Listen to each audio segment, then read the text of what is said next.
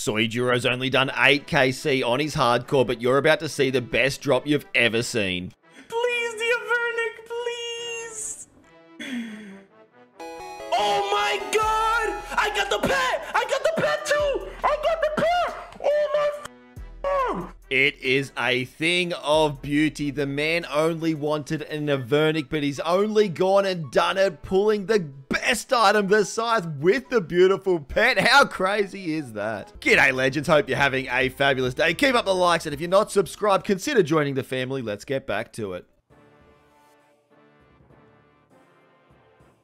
Wrong answer. Wrong and what do you you this is you okay i see some people asking what is red x okay so red x red x see how i have i have a red click and a yellow click okay these are different from each other when you move by using a red click under an npc it can't move it can't move from under you the reason that's important is that it enables all of the God Wars dungeon methods, so like T-Bow Zammy, uh, Bofa Bandos, uh, you know what I'm saying?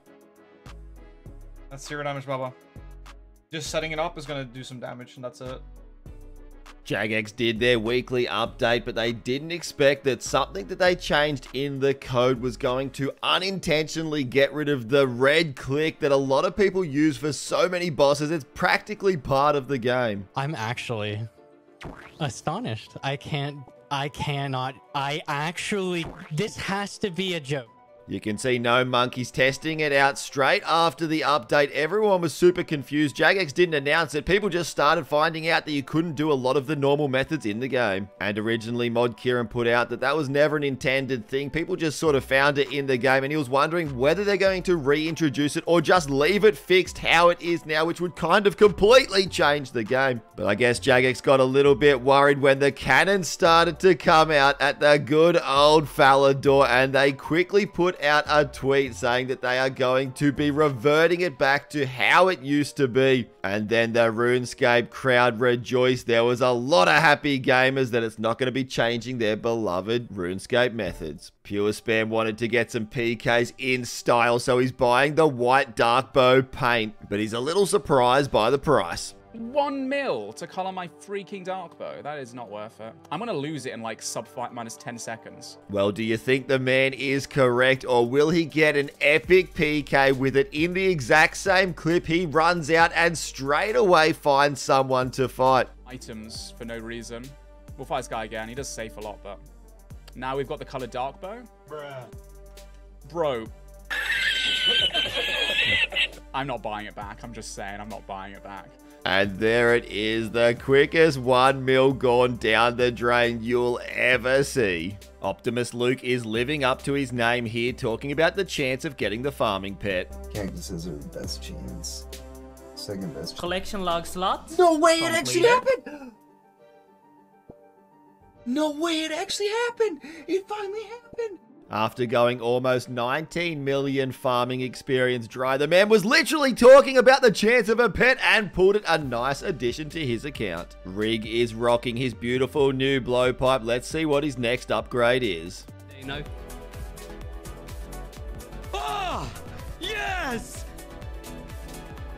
Two out of three ticked off the list at 314 KC. And if you want to see something even rarer than that, well, let's switch over to Lal, who's also on a hardcore doing some Zulrah. She wants to die. No way, I just got the mutagen. The hell? Okay. Okay.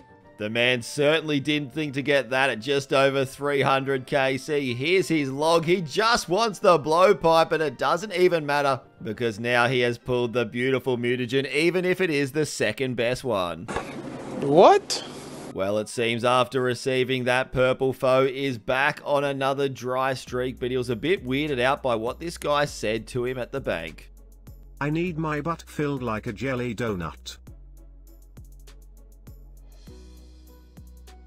Some people are getting super hyped for the quest speed runs, but apparently Skill Specs isn't too keen. You gonna do some quest speed running tomorrow, skill specs? I'd rather drag my through hot honey, fella. And I have about the same view on doing quests as Mr. Skill Specs. They're bad enough to do once, let alone try and do them super fast. But I should state there is a side of the community that absolutely loves them, and a lot of really, really popular games do need speed runs because it generally is a very hype, competitive game mode. Faux put out a tweet saying, have a look at the worlds already. They are popping off. This was straight after the update. Not too many people on the speed run worlds. I kind of thought there'd at least be a few more just checking it out. If you've been watching Som the Bon Bon, you'll know that she's gone extremely dry. Well, let's see what she's just pulled.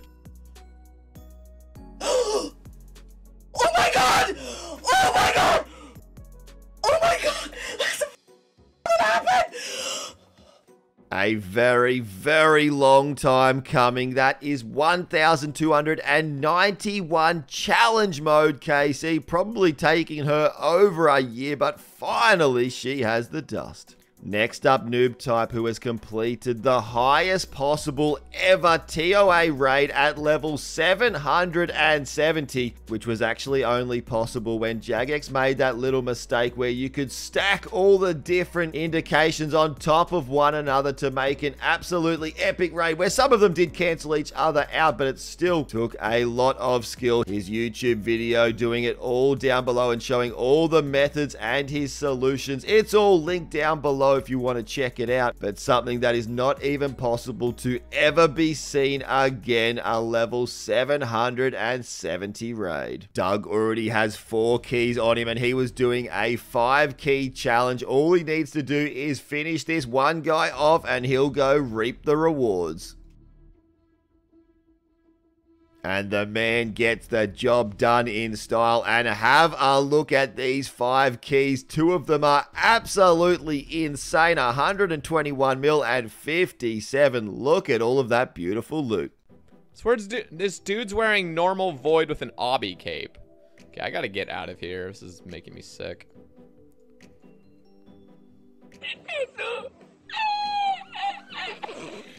Uh, a cold one sending the 510 level raids, and the man started to make some serious bank. That's fine. I've gotten valuable stuff recently. That's even better than a ring. The Osmumten's Fang is the first item on my collection log to hit double digits. And that is a lot of fangs into the double digits. Shortly after that, he pulled a Masori body, which he ended up selling for about 200 mil. But the man has max cash from all of these TOA items. And just a couple of KC after the original Fang, the man pulled this. Night at this rate.